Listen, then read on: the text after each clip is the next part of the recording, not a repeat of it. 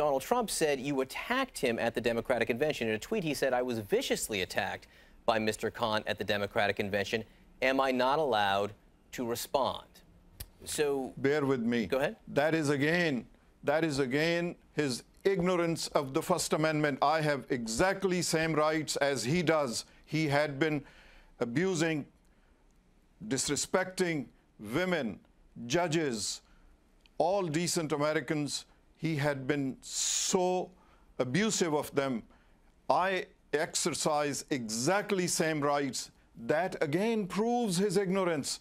He wants to have one set of rights for himself and he wants to have another set of rights for others.